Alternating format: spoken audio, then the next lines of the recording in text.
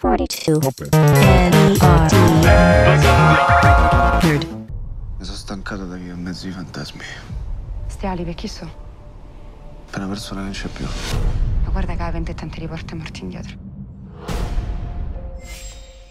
A me va a piede prende ordini. E ora che sta città passa di mano.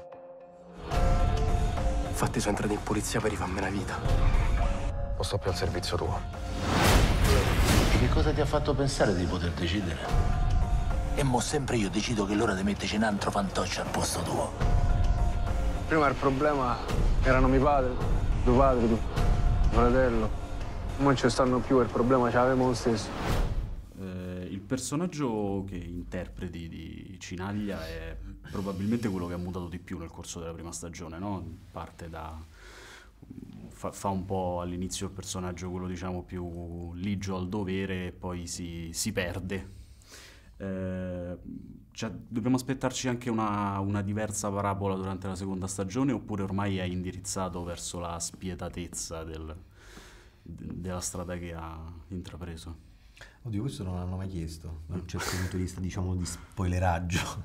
Nel senso che si è sempre dato per scontato che una volta che, che, diciamo, posso dire che, che comunque il percorso in genere non è che poi se da eticamente corretto ti, ti decidi di, di- di entrare, andare verso un'altra direzione, diciamo, è raro che poi ritorni a essere, almeno credo, quello veramente avrei avuto difficoltà a interpretarlo, cioè a fare tipo andata di ritorno e andata, eccetera. No, però Quindi- magari, che ne so, un, un- un- uno spiraglio ancora di quella Diciamo che comunque, beh, beh, in Cinaglia eh, quello che, che- che c'è e che cerco di mettere sempre anche fino a, fino a che è possibile, poi senza poter dire altro, è, è- è- la- la- una lotta interiore, un, diciamo, un, un giudizio che lui continua a darsi sempre e che comunque lo turba e che quindi eh, che cercavo appunto di... di- era, era quello che, che pensavo mentre, mentre ho sempre fatto Cinaglia, insomma questa rigidità, questo- questo- questa fermezza apparente ma dentro in realtà una grande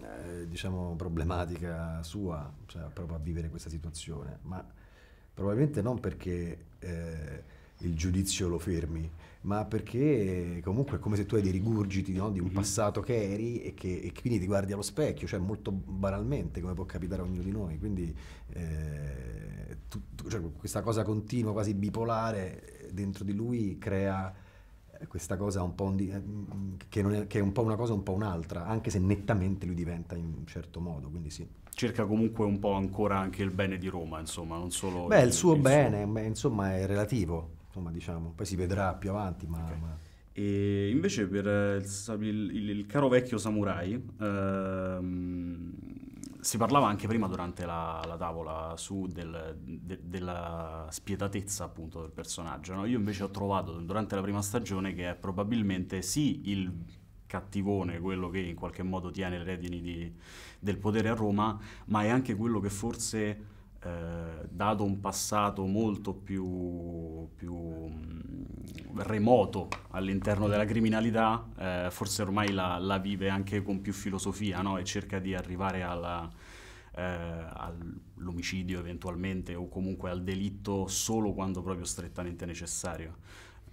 Sì, è interessante questa cosa. Eh, Filosofia, non lo so, diciamo che ha affinato la- proprio le proprie armi, diciamo. Sa benissimo che, che meno si fanno cose eclatanti, meglio è, insomma. Sì, sì, questa è una lezione che lui ha evidentemente imparato e che, e che forse lo rende appunto eh, così solido nella- nel, suo, nel- nel suo status di re di Roma. La politica la controlliamo noi. C'è chi cade e c'è chi prende il suo posto. Le cose cambiano prima o poi. Noi torniamo per comandare. Noi se dobbiamo rimettere insieme. Noi tre contro tutti. Ti torna? Mi torno. Ci siamo messi contro gente potente.